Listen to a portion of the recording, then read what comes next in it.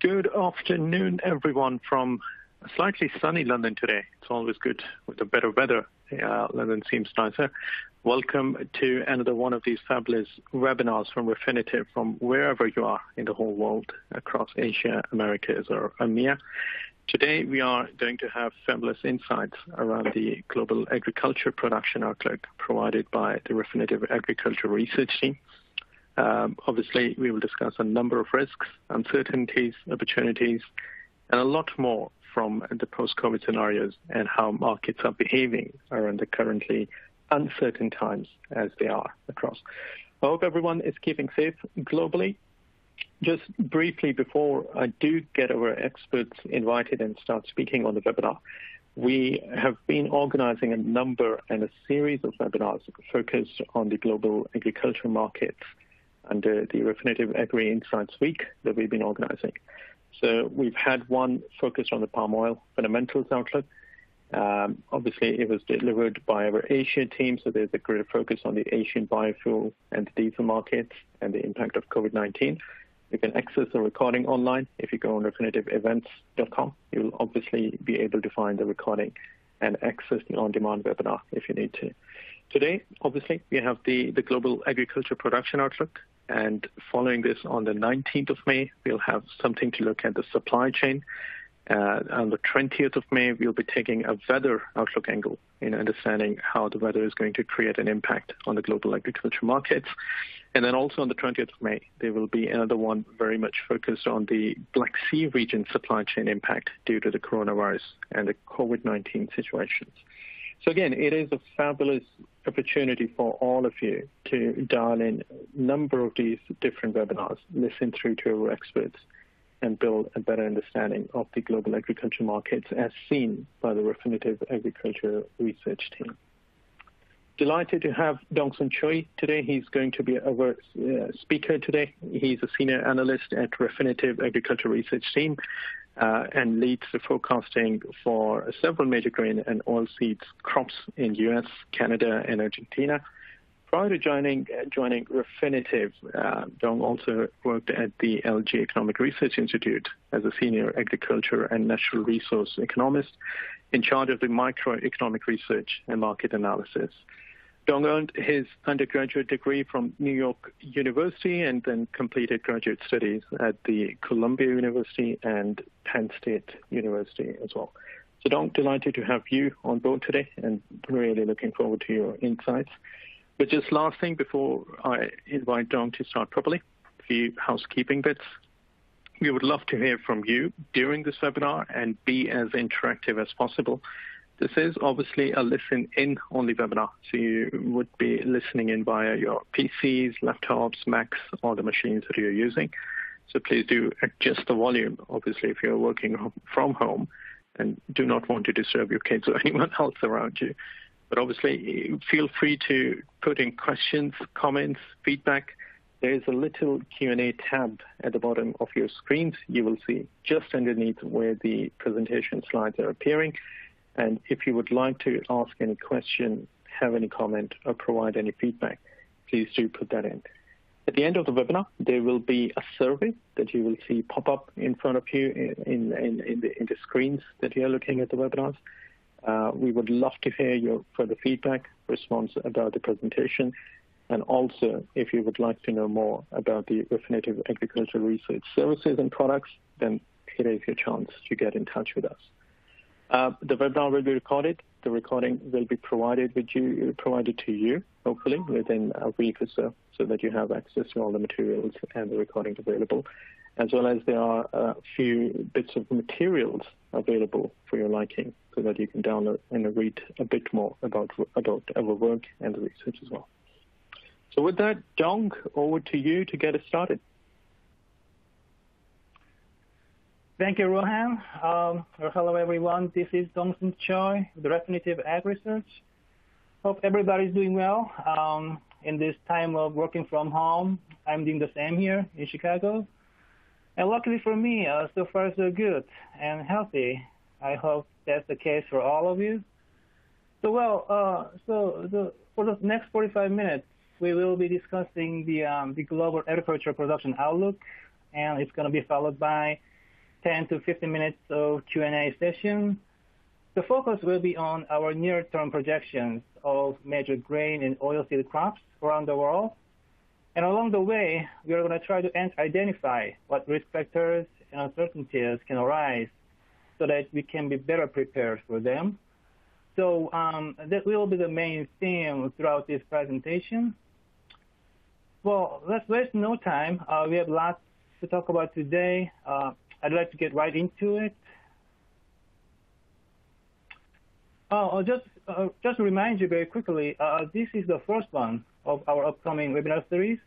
We have some big ones coming up next week, uh, lots of interesting discussions. really uh, looking forward to them. Uh, but I'd like to make it clear that today we will be focusing on production side of things, specifically, um, and that's actually where our expertise is best served. Uh, you know, we've been doing this for many years uh, with passion and commitment. Our goal has never changed. Uh, our primary mission is always to provide you with timely, accurate production forecast. We are a group of experts. Every analyst in our team is specialized in specific crops and geographies. Um, the crops we cover include corn, soybean, wheat, rapeseed, and palm oil. Uh, for example, I cover U.S. wheat, Canada wheat and rapeseed, as well as Argentina crops. I lead the forecasting of AYP, area yield and production of those crops in those geographies. And now, um, I'd like to take this opportunity uh, to promote our new additions.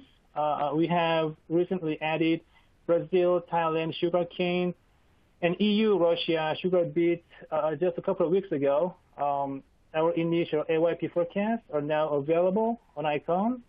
Uh, they will be updated every other week going forward, so um, please go ahead and check them out.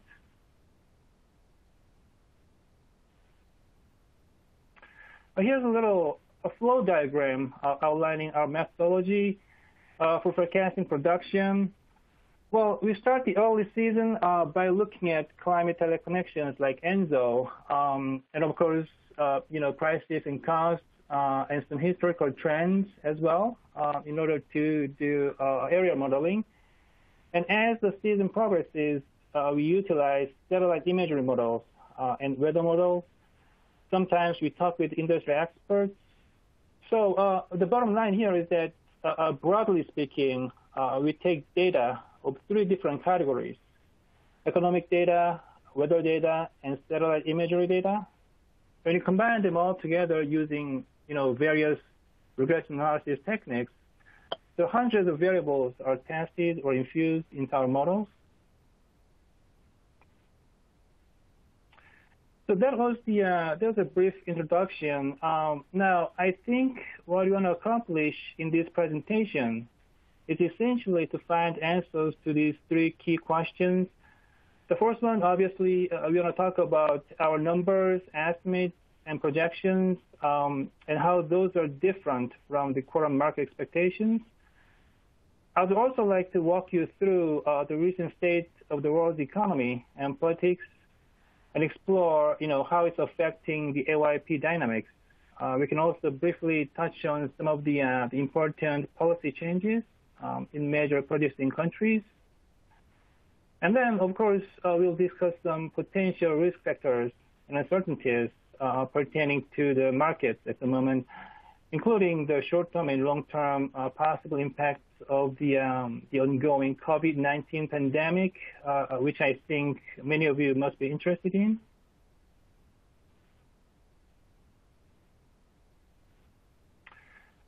First of all, let's just quickly go over the world production of corn, soy, and wheat over the past 10 years. Uh, wheat is probably the least volatile one, uh, pretty stable, even in the, uh, the 2018-19 season. Uh, we will talk more about that in a few minutes. If you look at soybeans, well, it makes up the smallest share, uh, but has been obviously the, least stable one.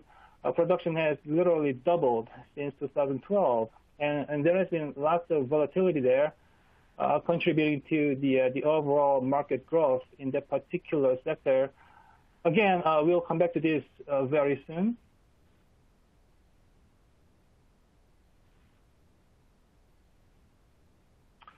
Uh, now, uh, why don't we start with North America? we can talk about corn, soy, wheat, and rapeseed crops there. Um, and then I think we can move on to South America and Europe. Well, U.S. spring plantings are active as we speak. Um, our production estimate increase in large part attributes to a rise in planted acreage following a dismal sowing season last year, you know, uh, following a historic season that kept record acres unplanted. Our broad regional patterns are consistent in showing larger rebound in areas that's the, the largest uh, planted acres in 2019. Also, if you think about historically low wheat acreage and expected declines in uh, other major crops like cotton, um, you know, those extra acreage has to go somewhere. You know, they will only favor a healthy increase in corn and soybeans this season. Um, well, these figures are all directly from Eikon. Um, as you can see, uh, corn planting is well past halfway, 67% done as of May 10th, uh, 11% ahead of the five-year average. The soybean planting is, is, going really well too. Uh, it actually reached the highest level for this state over the uh, last 10 years. Uh, the dark red color here uh, is this season, and lighter color is last season. And the five-year averages are, are represented by these uh, dotted lines. I mean, obviously, uh, it's still early in the season, um, and of course, uh, you know, spring weather is always critical. Uh, the market is watching the forecast closely. Uh, it's been it's been pretty cold the last few days, uh, but overall, so far so good. weather has been largely cooperative. Our current estimates put U.S. corn production at 15.4 billion bushels, soybean production at 4.1 billion bushels. Uh, but if summer weather cooperates, uh, we may see even higher numbers.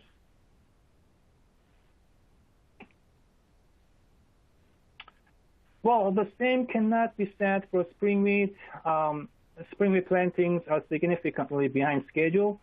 Uh, as you can see from the screen, um, you know, um, a combination of below average temperatures, above normal soil moisture levels, and some remaining harvest of last year's corn crop may have slowed down uh, the spring wheat planting efforts, but the situation has gotten a lot better lately. Uh, plantings have picked up pretty well, uh, especially over the last couple of weeks.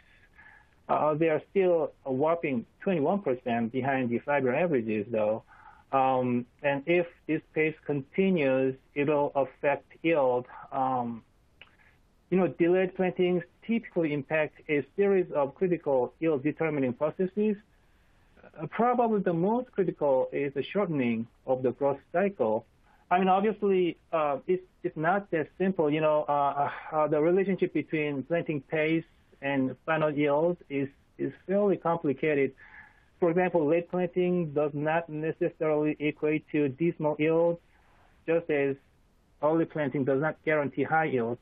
Uh, the weather in the growing season is also important, obviously. Uh, but you know, when you have some extreme delays, uh, you better pay attention to it. Uh, planting pace can be a critical yield determining factor. Um, there's no question about that. Um, we are at 15.9 million tons for total spring wheat, um, and that's based on area of uh, 13.4 million acres, 1.2 for durum and 12.2 for other spring wheat.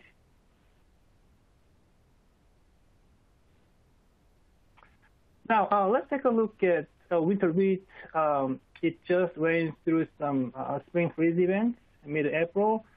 Especially, uh, most of the Kansas crop uh, was exposed to air temperatures below 24 degrees, uh, which is the, the spring injury threshold for wheat, at least a couple of times during that time. Uh, that's probably the biggest event uh, that has happened uh, to the, the U.S. winter wheat crop this season by far. And of course, that means lower condition scores. Um, you can see the, uh, the huge drop here, uh, reflecting the damage from the, the freeze events. Uh, the percentage of the crop uh, that's in good or excellent condition dropped significantly uh, late April and early May uh, because of that. and most of it attributes to the cuts for the Kansas crop because Kansas accounts for such a high share of total winter wheat production. But uh, having said that, um, you know, uh, wheat is a very resilient crop. Um, for example, if you can remember, just two years ago, I believe it was 2018-19 season, uh, winter wheat went through a lot uh, during dormancy. You know, um, extreme drought in the south, um, and a number of winter kill events in the north. Um, uh, you can check the uh, the green the green curves here. Uh, the green color represents 2018-19 season uh, winter wheat crop conditions. They almost look like outliers now, you know, reflecting terrible crop conditions at the time. Um, a lot of people expected yield to go down significantly.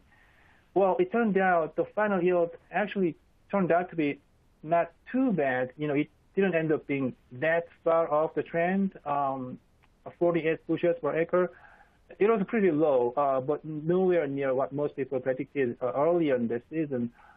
Well, this season, winter wheat is doing considerably better uh, than the 2018-19 crop. Uh, uh, yes, it just went through, you know, the, the spring injury, but I don't think it has had that much impact on the, uh, the yield potential.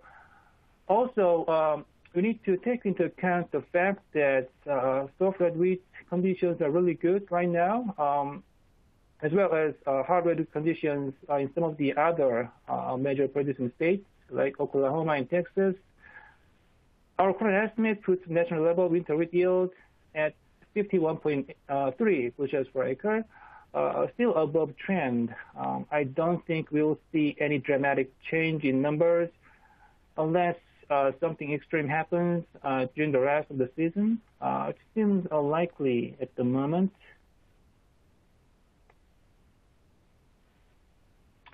Uh, this is uh, just to show you where we are in terms of U.S. corn, soy, and wheat area and yield. Um, our current estimates put U.S. corn and soy uh, planted area at 95.7 and 82.9 million acres, respectively, up 7% and 8% from last season. Um, like I said earlier, uh, uh, we are looking at a significant acreage recovery after record-breaking uh, prevented plantings last year, as well as, of course, a return to the, the expected baseline yields, which are currently estimated at 173.8 and 50.4 bushels per acre, respectively.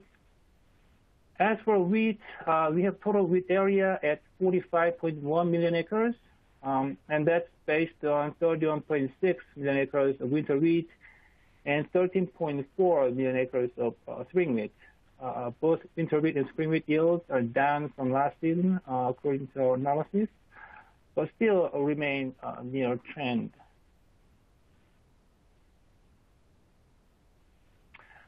Um, I would like to very briefly touch on Canada. Um, StatCan's numbers were finally released last Thursday, after weeks of delay, uh, they pegged wheat and rapeseed planted area at 25.4 and 20.6 million acres, up 3.3% and down 1.6% from last season, respectively.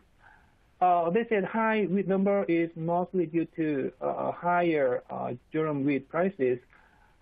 Just remind you, uh, USDA pegged Canada wheat production at 34 million tons, a couple of days ago um, in the WASDE report, 5% higher than last season. Well, I'm not so sure about that. You know, I thought those numbers were a little too high. Um, the the reason being that, um, first of all, it's been very dry throughout, uh, you know, pretty much everywhere in southwestern Canada, and farmers know it's going to be a dry season again. Um, not to mention, you know, uh, completing harvest from the, uh, the 2019 crop uh, remains a priority for many farmers, especially in Manitoba. Um, you know, it was really it was really cold and snowy last winter. On top of that, uh, many Canadian farmers are reported to be facing enormous economic pressure.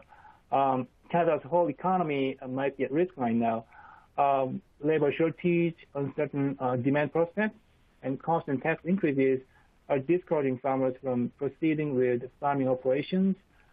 Uh, so the situation is not very good in Canada. Um, we are working around numbers right now. Uh, they will be uh, uh ready very soon. Now, um, take a look at the uh, uh, let's take a look at the, the weather moving forward. Um, on the left side, we have forecasted temperature anomalies. Um, the blue represents below average temperatures, and the red represents above average temperatures. Well, as you can see, uh, not much concern there. Um, you know, widespread warmth across the U.S. corn and soy belts and, and, and Canadian prairies but nothing really extreme. Uh, it's not uh, it's not likely to be uh, significant. On the right-hand side, we have forecasted precipitation anomalies. Uh, the brown represents below average precipitation, and the green represents uh, above average precipitation. Uh, most of corn and soy areas in the U.S.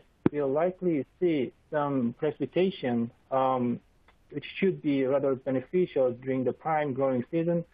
but look at the look at the U.S spring wheat and Canada wheat and rapeseed areas in the north, it's going to be warm and dry. Um, you know, the weather conditions uh, during June to August will not be favorable for the, uh, the U.S. spring wheat and Canadian crops. Uh, they should definitely be um, uh, one item to watch.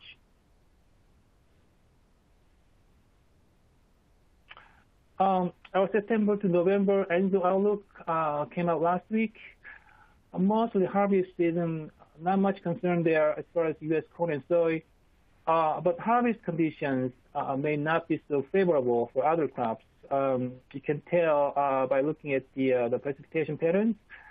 Again, uh, uh, most of the Canadian crops um, and U.S. spring wheat crops could be at risk of unfavorable, unfavorable harvest conditions.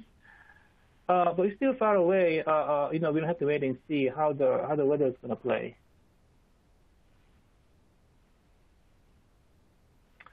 Now let's go over uh, some of the, uh, risk factors and uncertainties for the, uh, North American crops. The first thing that comes to mind is, of course, uh, the continued worsening of the world economy because of the, the global shutdown.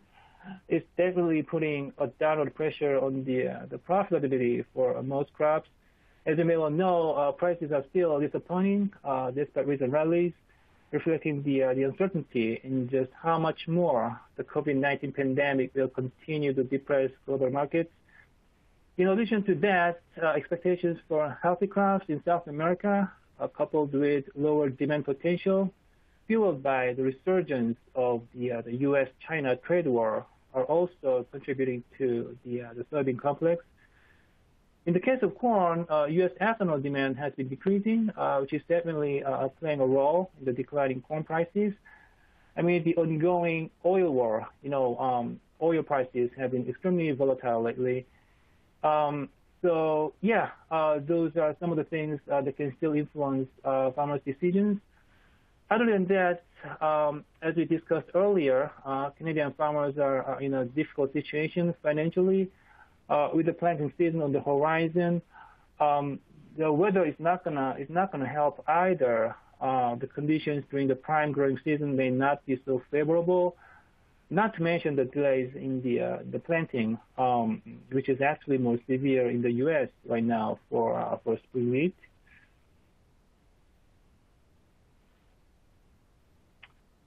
Well, I think uh, we are now ready to move over to South America. Um, it's mostly harvest season right now, uh, maybe except for a few crops, uh, but there are some interesting developments down there. Um, we'll talk about Brazil first, and then go to Argentina. What's happening in Brazil? Well, it looks like uh, we'll have another uh, uh, season of huge crops um, coming out of Brazil. Uh, the soybean crop is now harvested. Uh, this season will again bring a Brazilian soybean production to a record 123.1 million tons after farmers planted uh, the, the, largest crop in history, uh, just shy of 40 million hectares. Um, the biggest issue this season was, of course, uh, the persistent dryness uh, that lingered for months, um, especially in Rio Grande do Sul, one of the top producing states in the country. And that ended up lowering yields there nearly 33% year-on-year. Uh, but other than that, uh, all other major crop regions uh, did just fine. Um, you know, Brazil continues to be the most important soybean producer in the world. Um, it's been obviously benefited from the U.S. export losses to China. That's for sure. You know, Brazil remains to be China's largest soybean supplier.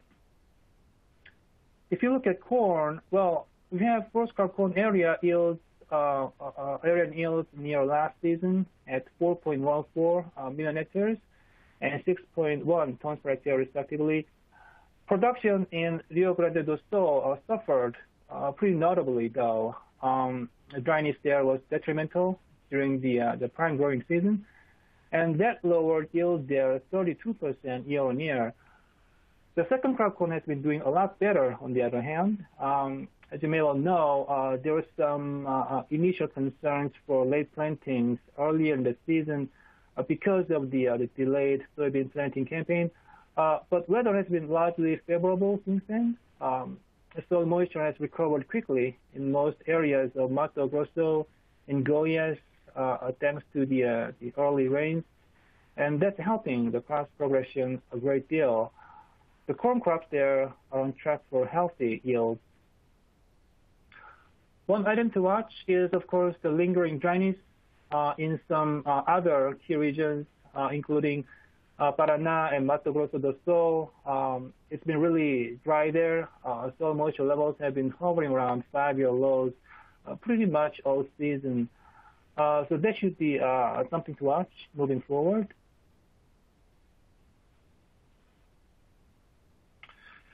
I'd like to quickly go over Brazil sugarcane. Uh, as I mentioned earlier, uh, starting this season, our team will begin forecasting Brazilian sugarcane AYP. Um, we'll do biweekly forecast over the next few weeks, uh, based on Crushers Association and Ministry of Agriculture data. Well, um, first of all, our initial models are telling us that harvested area estimates will likely be near 8.5 million acres, with yields slightly uh, below last season's 75.7 tons per hectare. And TRS, uh, total uh, recoverable uh, uh, sugars, are down roughly 3 points to 136 kilograms per ton. Um, While recent dryness has facilitated near record April crushing, uh, it actually exceeded last season's April totals by over 60%, by the way. Nearly 40% of that has gone to sugar production so far, um, given the uh, the dramatic, uh, dramatically low ethanol prices. So um, yeah, we expect the dryness to promote a rapid harvest. But at the same time, of course, they might also mean negative effects on yield potential. So yeah, that could be something worth paying attention to.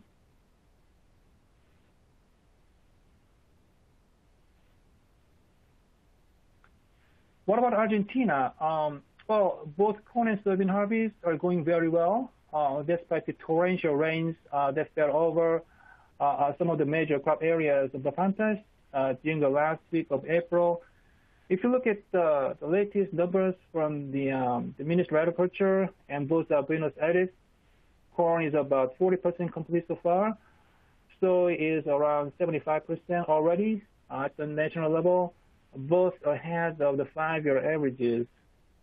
If anything, I would say those heavy rains late April uh, rather helped recharge soil moisture storage there, uh, which is going to be important for the for the wheat crop. You know, um, Argentina wheat planting normally begins in late May, early June. Um, and thanks to those abundant rainfall in April, soil moisture conditions in key wheat producing areas are now close to optimal. You can see the uh, uh, you can see a huge improvement in soil moisture in April, uh, especially in Buenos Aires, which accounts for nearly 40% of total wheat production. And it's been dry since then, Um, you know, as if things couldn't get any better. Now the favorable dry weather will likely continue at least for the short term, which should help immensely the, the planting activities there. Everything is happening in a timely manner in Argentina. As far as weather.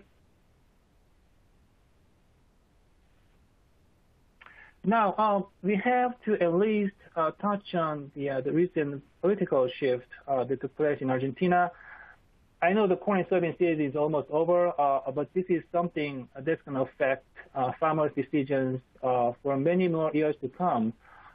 Um, to make uh, to make the long story short, as you may all know, Argentina government is now led by a new president, uh, but people have been paying more attention to the uh, the new vice president because during her presidency, duties on agricultural commodity exports were among the highest in history. You know, obviously, uh, uh, this is a difficult time for Argentina. It needs to find a way to raise money, um, and uh, it will likely be through tax increases, uh, especially in the uh, the ag sector.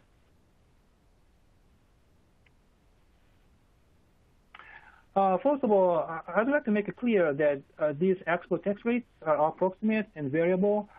they depend on the, the constantly changing exchange rates and other variables Meaning, you know, uh, there's sometimes this, you know, baseline tax plus like five pesos for each dollar, for example.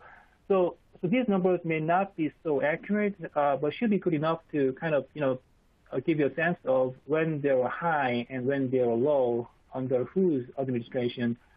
And you can tell our taxes are just not likely to go down um, under the current government, uh, to say the least. Two-thirds of Argentine farmers think the government will hike export taxes, well, it has happened already, uh, and it's likely to happen again. It's 33% now uh, for soy, uh, from 30% from the um, uh, and from the, the, the previous 25%. The farmers are changing up their investment plans, um, and this was before the season even started last year. Um, if you compare this with uh, the historical trend of agricultural production, uh, there, there, there, tends to be a negative relationship there obviously, under the current government, uh, there will likely be a little incentive for farmers to expand acreage.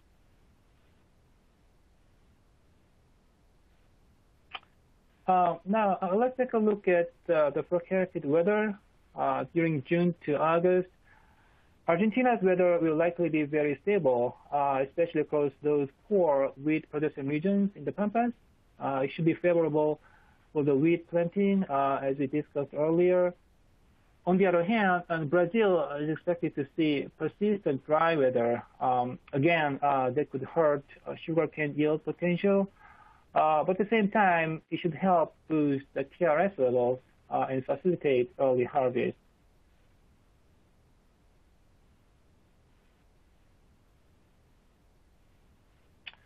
Um, if you look at the, uh, the September to November weather outlook, um, one item to watch is the dryness in Argentina this time. Uh, we are looking at the uh, the prime corn and soy planting season here. Depending on the uh, depending on the soil moisture levels, then uh, this dryness could be problematic, uh, especially for those three major provi- producing provinces: Buenos Aires, Cordoba, and Santa Fe. So that will be uh, my take on this long-term outlook.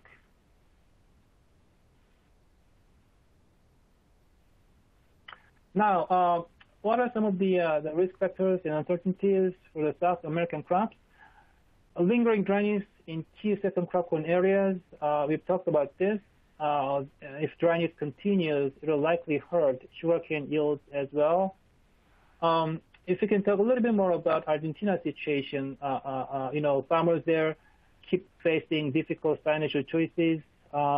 you know, when national economic conditions are not healthy, it's never good for farmers. and especially for Argentina, it's a combination of a lot of things. Interest rates are still high. It's still difficult to borrow money from the bank. Argentina peso is historically weak meaning it would cost more to purchase agricultural inputs like fertilizers and pesticides because they are all priced in dollars. Inflation is always uh, unstable oil prices. And then uh, uh, there's this an additional tax burden. Uh, it will likely affect the future planting decisions because it could drive down farm investment and result in smaller harvests moving forward.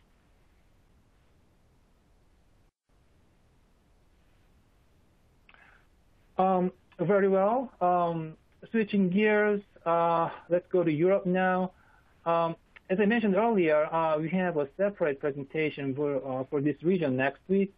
Uh, more details will be provided on production and market drivers in the, Black Sea webinar.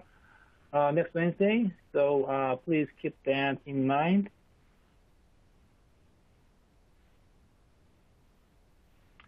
Um, why don't we start with the past weather in Europe? Um, overall, planting season for winter crops in last fall uh, went pretty well, uh, but some of the uh, the key regions in northwestern Europe uh, uh, received very heavy rainfall uh, during the prime planting period, especially UK.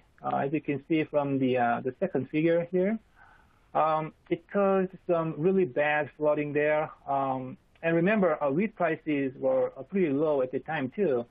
In fact, at one point, wheat prices were the lowest since 2016 uh, for the time of year. So um, the combination of excessive moisture low prices kind of kept uh, farmers from actively planting, uh, gave them little incentive to do so. Um, the acreage reduction for soft wheat was pretty big in particular um, got reduced by nearly a, a million hectare. Uh, UK alone, so 400,000 hectare reduction in soft wheat area. It's going to affect yield potential too. Um, but as far as winter weather, um, it was largely favorable. Uh, very warm winter, uh, especially in uh, continental Europe and Scandinavia, with 4 to 5 degrees above normal virtually no snow coverage, but no winter care events occurred anywhere in Europe. Um, winter crops were kept in good condition. There were some dry spots, though. Central Europe and uh, the Balkans and some areas of Southern Europe are still showing low soil moisture levels, although um, they are definitely better than last year. Uh, for example, if you can remember, Germany suffered from a historic drought around this time last year, Germany's soil moisture is still, uh, you know, it's pretty, uh, pretty low uh, this season too, uh, but not nearly as low as last year. Well, obviously, uh, dry weather could be good uh, for spring plantings. Um, also, if you think about relatively decent corn prices, farmers may have more incentive to expand corn area this season, despite uncertain market development and, of course, the COVID-19 pandemic uh, well, uh, speaking of COVID-19, uh, you would say there's really no evidence of any major impact on sowing of spring and summer crops due to the the coronavirus outbreak. We don't think it's impacting much. Um, although, if there's one thing, maybe labor availability is emerging as a key concern. But other than that, um, yeah, no other major issues there.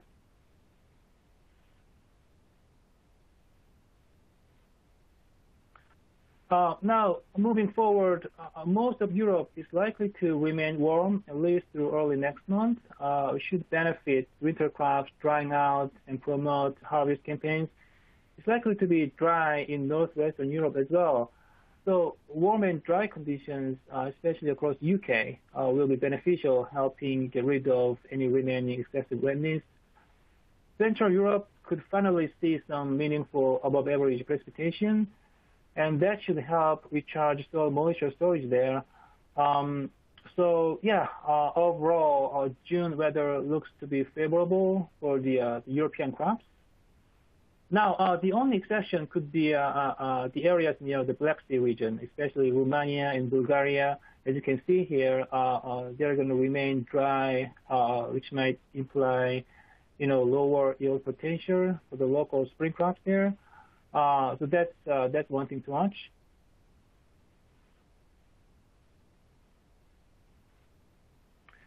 Let's talk about uh, Eurasia's past weather now. Um, winter crop sowing went pretty well. Um, again, thanks to the the warm weather. It was actually one of the warmest winters on record in Ukraine. But cold conditions did occur during mid-March, especially in northern northern Ukraine it ended up causing some frost damage uh, to the winter wheat and rapeseed crops there, and that lowered our yield numbers too. As far as precipitation, obviously, uh, persistent dryness has been an issue, uh, especially in Ukraine and southwestern Russia. Uh, but really, uh, most of the, uh, the Black regions suffered from the lack of moisture up to 100 millimeters below normal in March um, you know, below average precipitation since the beginning of spring must have induced a negative yield impact on winter crops. But the dry weather so far has been rather beneficial uh, for the corn and spring wheat plantings. Uh, farmers are likely to expand uh, spring crop area uh, despite the, uh, the COVID-19 effect. As for winter wheat area, um, not much change in uh, Ukraine, but Russia's winter wheat area is likely to expand thanks to the, the Russia's national strategy to boost crop production until 2030.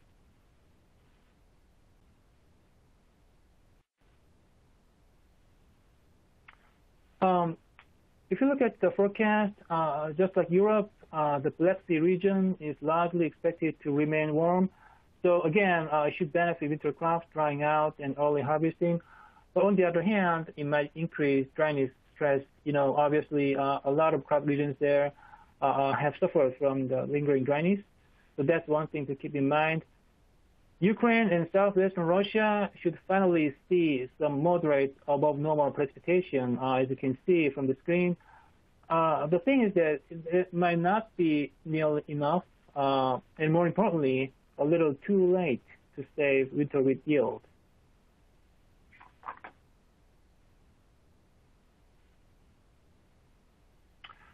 Let's talk about our numbers now. Um, our current estimate puts EU wheat production at 143.5 million tons.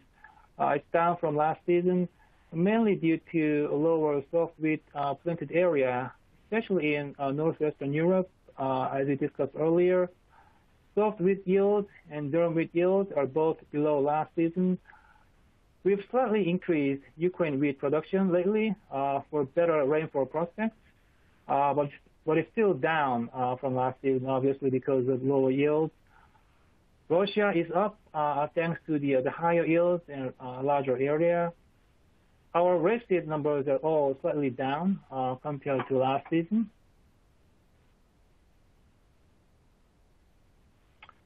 As for corn, well, we think EU corn will benefit greatly from uh, the, upcoming rainfall and warm temperatures, especially in southern and central key production regions of course, the effects of COVID-19 uh, remain to be seen, uh, but really, farmers' decision to plant was probably made prior to the pandemic expansion.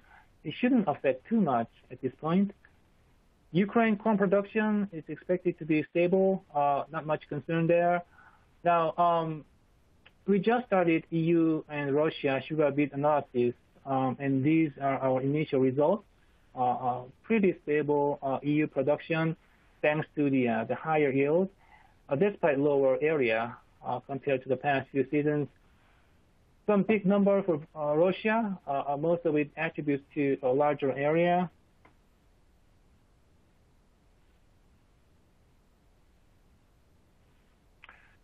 Risk factors and uncertainties, mostly weather related, excessive wetness in northwestern Europe, lingering dryness in uh, Central Europe, uh, as well as Ukraine and southern Russia. Well, again, I'd like to remind you of the upcoming webinar next week. Please check out the Black Sea webinar scheduled for next Wednesday if you want more detailed outlook.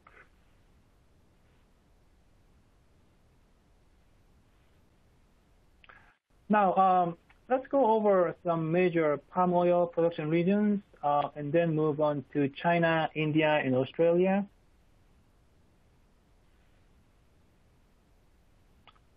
Well, Indonesia, uh, Malaysia, and Thailand account for nearly 90% of the world total palm oil production. As you can see here, uh, it's expected to decline 5 to 10% year on year in these countries, mainly because of dryness, uh, lower fertilizer usage, floods, and movement restrictions. So clearly, uh, the COVID-19 impacts are there. Uh, Malaysia has, has, excuse me, has recently decided to further expand the unprecedented movement control order. Um, it's been in effect since March. The obvious consequence is, of course, uh, the labor shortage and various restrictions uh, in logistics. Plantations, palm oil mills with the cases remain closed. But in Indonesia and Thailand, uh, the impact seems to be limited. Operations remain stable there. Uh, you know, there are no plans to halt operations in Indonesia and Thailand. at least not yet. Um, so the situation is a bit better there.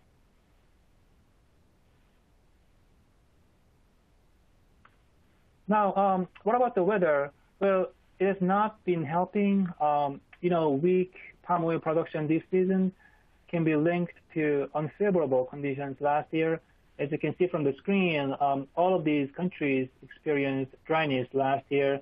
Um, in Malaysia and Thailand in particular, uh, the dryness persisted through the first quarter of this year, and it's likely to increase uh, the downside risks uh, for the crop output because there's always this potential lagged impact on yield. But in Indonesia, the situation is a bit better. Uh, it's pretty wet in Indonesia right now.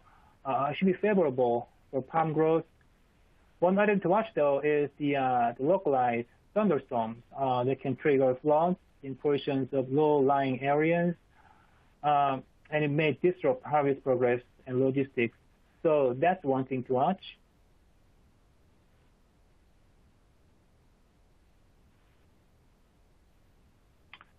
Um, severe dryness and lower fertilizer usage in 2019 are taking their toll on 2019-20 production. Malaysia production total so far has declined 90% uh, versus the same time last year. Uh, Indonesia and Thailand production numbers have declined 4% and 39% respectively from last season. But you know, uh, despite movement restrictions, uh, the production numbers are expected to improve at least gradually and that's thanks to the uh, the seasonal upward trend uh, in crop output uh, through the next quarters. Again, we just started Thailand sugarcane production analysis. Well, Thailand has 58 sugar mills. The mills can crush more than 130 million tons of sugarcane annually, producing roughly 14 million tons of centrifugal sugar our initial estimate puts 2020-21 production at 30, uh, uh, pardon me, 83 million tons, above last season's 74.9. Uh, that was a 10-year low, by the way, down 43% from the year before. That's some pretty impressive volatility, I have to say. Let's move over to China. Uh, the chart on the left shows China corn prices uh, in the Northeast uh, since 2016. Well, first of all, China corn planted area is expected to increase for the first time since 2016. As you can see from the from the chart, corn corn prices are 10 to 15 percent higher than the same time last year, actually at the highest level since 2016. Also, uh, policy changes are playing a role too. Uh, the Minister of Agriculture has been trying to reduce a corn area over the past few years, but this season is targeting higher area numbers uh, through the, government subsidies. So, yeah, basically high prices and favorable policy changes are driving up the corn corn acreage. As far as weather, well, the figure on the right side is the soil moisture deviation in April. Uh, the circled areas are the two major corn production regions uh, where soil moisture is currently above normal. Obviously, that means high yield potential. Our models are telling us that assuming uh, near average weather moving forward, China should produce a record corn at 264 million tons.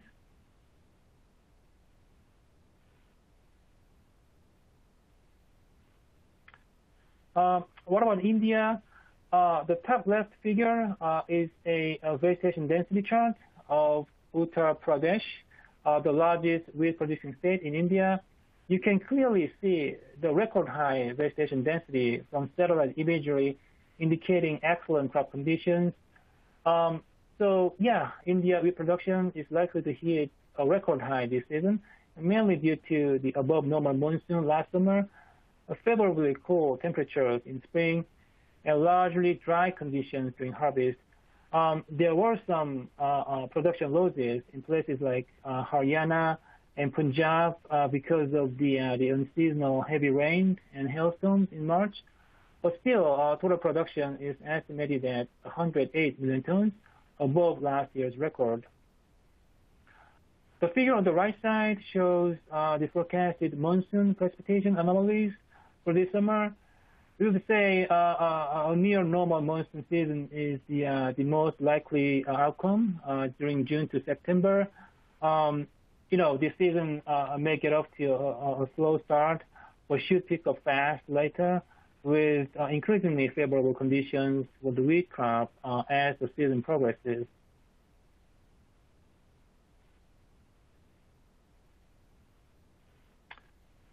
Lastly, uh, let's take a look at Australia.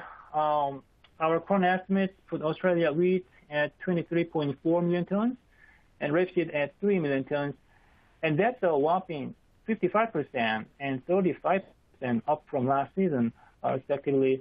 And this makes sense if you think about what happened over the past three years. You know, Australia has suffered from uh, some of the worst drought conditions in recent history for three consecutive seasons resulting in a 13-year low production numbers just last year. Well, this season looks to be different. Um, I know it's been rather dry lately, uh, especially in uh, South Australia and Western Australia. But overall, soil moisture is still pretty healthy, and more rains are on the way too. Um, as you can see from the screen, uh, the top three figures from left to right shows show the expected precipitation patterns for June, uh, July, and August, respectively. So overall, the situation is the prospects are a lot better this season. A huge rebound is expected. Um, these are some of the the risks and uncertainties for the countries we just we just went over. Um, if you look at Malaysia palm oil production, clearly uh, the COVID-19 impacts are there. Lingering dryness is also uh, one item to watch. Now, um, the fall armyworm is once again spreading across the, the southern China, and this time the outbreak is a couple of months earlier than last year. Obviously, the past could affect some of the major corn production regions, including uh, the North China Plain and even the northeastern China. The past damages could be more severe this year than last year if the government fails to contain it. So that's definitely uh, uh one item to watch.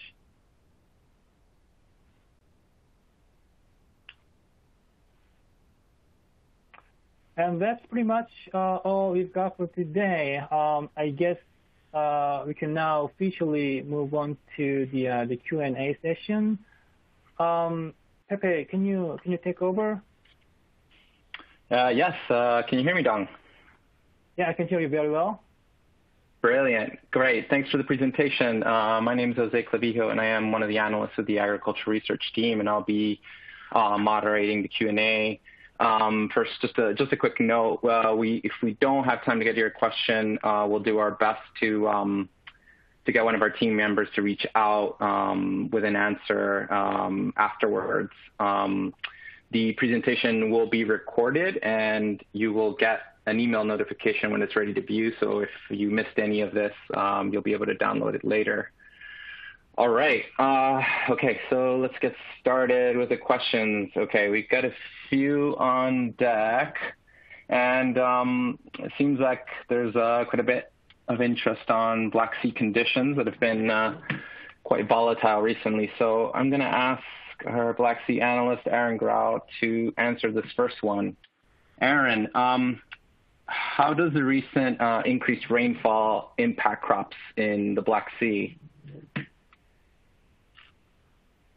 Yeah, um, hello everyone joining in, and Dong, thank you for presenting.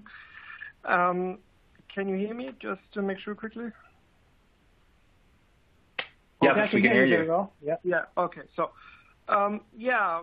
Well, uh, prior to the recent uh, rainfalls, uh, the Black Sea region has been very dry, um, causing soil moisture levels in the Black Sea region to drop to 100 millimeters uh, below normal in April.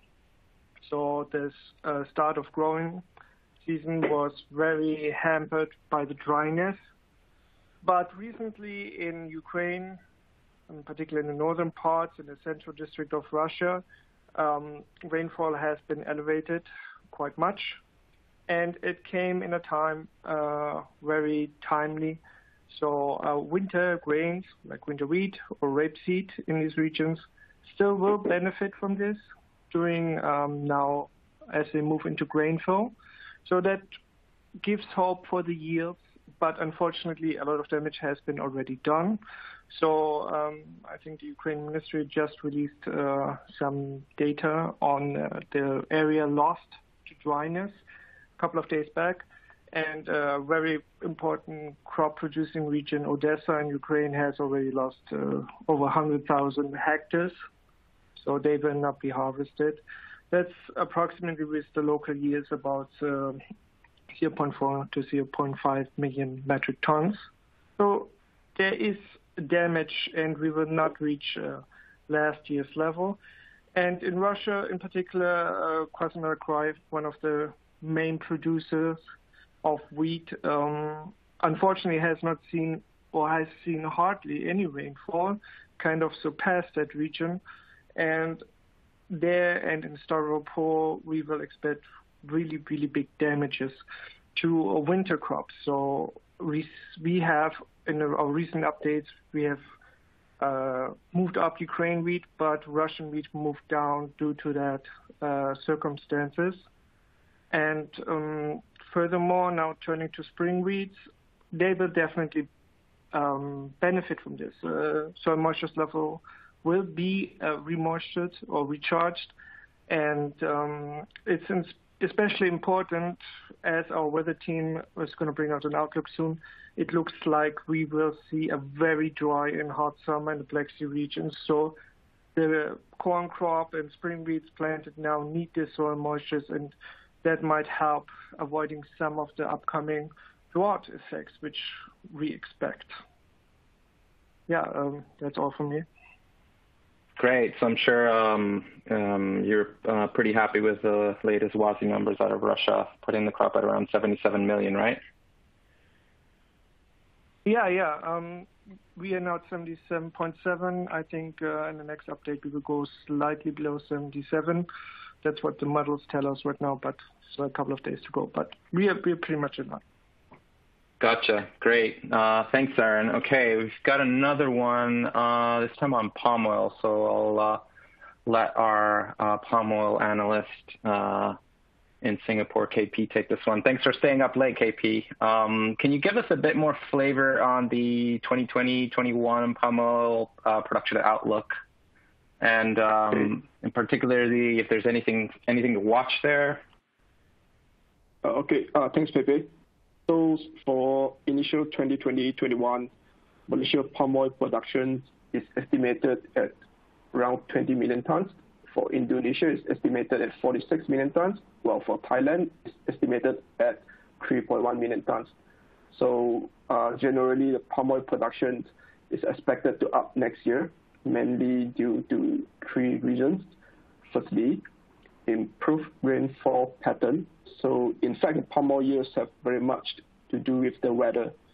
So um, this year, we have seen more regular or wet weather, especially in Indonesia. So the rainfall surpluses are favorable for palm growth there. And secondly, the palm oil production would experience a cyclical rebound as palm oil plantations are recovering from the impact of the previous unfavorable weather. And um, lastly, an increase in the harvested area, especially in Indonesia. So the Indonesia the palm oil area grows significantly from about 14.7 million hectares to 16.4 million hectares. So uh, there's a sizable increase in the hectares. We'll likely generate more crop outputs in the coming season. Yeah, So yeah, that's all from me. Thank you. Got it. Uh, brilliant. Thanks, KP. Um, let me see here real quick. Okay. Um, another another one that tends to get a lot of interest. Um, conditions uh, in India with the upcoming monsoon. Uh, so Lee Bin, um, based on this question, can you elaborate a bit more on the what what we're expecting to be the impacts of uh, the the India monsoon on crop production in the region?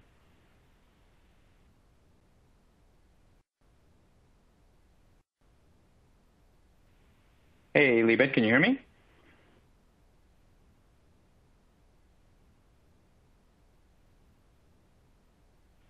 I think we might have lost uh, Li Bin there for a moment. Um, I see. Let's uh, let's just wait to get her on back in a second. I will jump to um, to the next question. Uh, okay, we got one here on the U.S. Um, what are the um, what are the impacts on acreage and potential yields of the recent frost freeze event that we had in the U.S. in portions of the Midwest and Northern Plains? Um, that's a good one. So it it's uh, at this point the big picture is we're not expecting any major national level shifts in acreage uh, between crops or uh, significant hit on yields. Um, the areas impacted, as I said before, covered important portions of um, Ohio, Michigan, Wisconsin, parts of Iowa, um, and portions of the Dakotas as well. Um, where even though plantings have been going quite fast, emergence hasn't hadn't been particularly high for corn or soybeans in those areas. So we really aren't expecting massive die-offs or significant areas that will have to be replanted. I think um, from that event and continuing um, high rainfall, the one to look out for is North Dakota. I think that is a state that every year has usually the largest shifts uh, between corn and soy year on year. Um, so it's always one that's a bit tricky. Um, and so um, um, so, so I think there could be some shifts in acreage. There will likely be fewer corn acres than what we're expecting currently. Um, so maybe closer to three or maybe slightly below three and perhaps a bit more soy in that area. Um, that could be actually offset by um, a bit more corn acreage in other portions of the Midwest um, that we might get because, again, uh, sowing conditions in the rest of the country have been so good that that tends to incentivize slightly higher corn plantings. So uh, again, at this point, no massive changes, but um, but um, definitely some potential for rearrangements on on acreage within the states that we've talked about. Uh, okay, let's see. I think now we have Bin back on the line. Li Bin, can you hear us?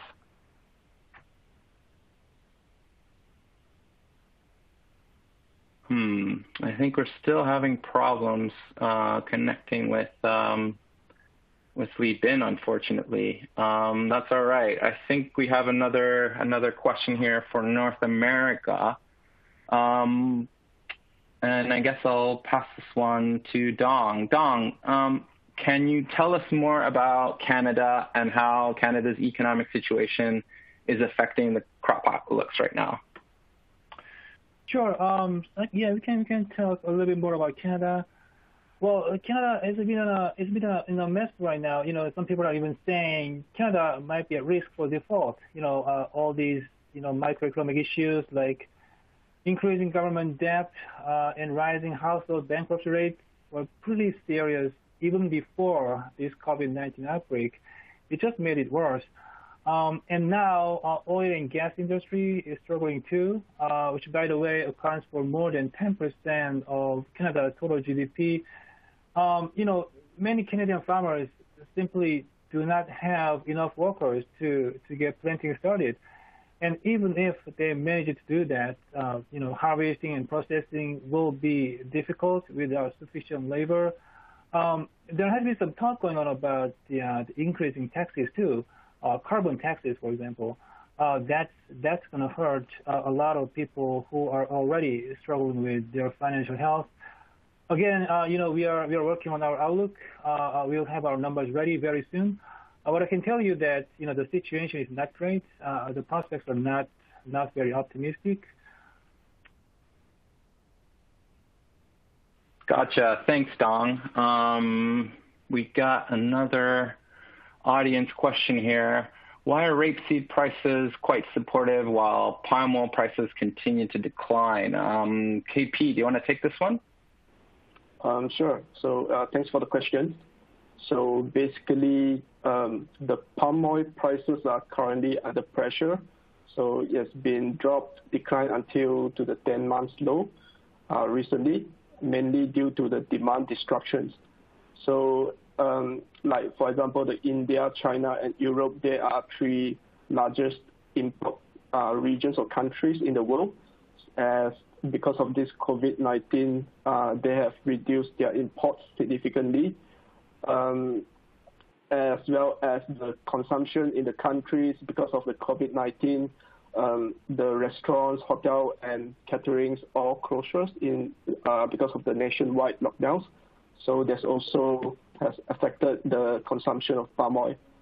So um, for India, for example, their consumption for palm oil has dropped about 40% uh, during this period.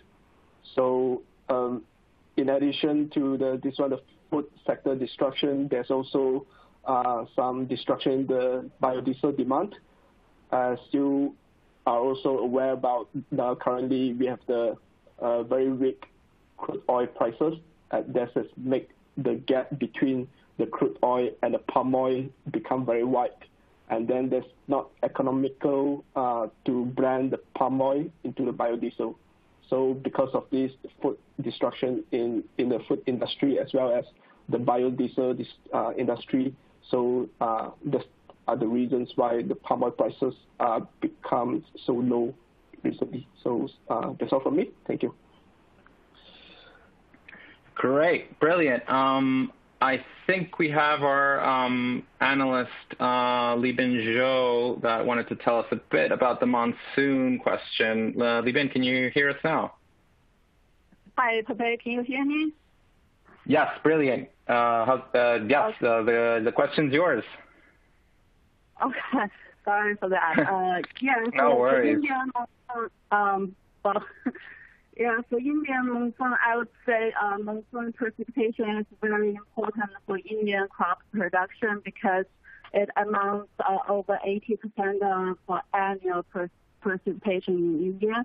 So if uh, uh, if monsoon precipitation is uh, below normal or well below normal, it means uh, uh, uh, the the reservoir water uh, and the rivers won't be uh, won't have enough uh, water to um, you know um, uh, irrigate the crops in India. Uh, in India, lots of croplands are irrigated, but if uh, there's no enough water, to irrigate, then the, the crop production will be affected substantially. Especially the summer crops like uh, uh, rice, soybeans could be affected directly. Uh, but for winter crop like uh, um, uh, wheat, wheat, it could also be affected by monsoon precipitation. Uh, like I said, uh, the monsoon precipitation uh, will provide a lot of water for irrigation. Uh, uh, so uh, if uh, it fail if monsoon precipitation is below normal, then uh, the, the wheat and uh, rapeseed crops may not be able to get enough water. Uh, so based on our uh, weather team's uh, forecast for India this summer, uh, India may receive a normal or even above normal monsoon precipitation this year. This is really a good sign for uh, crop production in the coming season, including uh, uh, rice production, soybean production, and uh, the wheat production for for the next season. So. Um, right now we still don't have uh, the wheat outlook for the next season, but uh, we will produce our first outlook in uh, very likely October. So it's still uh, about half year uh, to go, but uh, at least the outlook for monsoon precipitation is quite positive for uh, for crop production in India. Got it. Sounds good. Um, uh, brilliant. Um, and just a reminder from what uh, Rohan said, we will have um, our weather team presenting a global weather outlook uh, next uh, Wednesday, May 20th. So stay tuned for that one, uh, where um, we'll, certainly touch more on our expectations around the monsoon and uh, weather in other major ag regions. Um, unfortunately, that is all the time we have uh, for today. But again, um, I know there's a few questions we didn't get to. Uh, we'll try our best to um, um to answer them um, by email. And again, uh, you'll get an email with the uh, presentation when it's ready to go. So uh, thanks everyone again. Thanks Dong, and talk to you soon. Thank you everyone. stay healthy.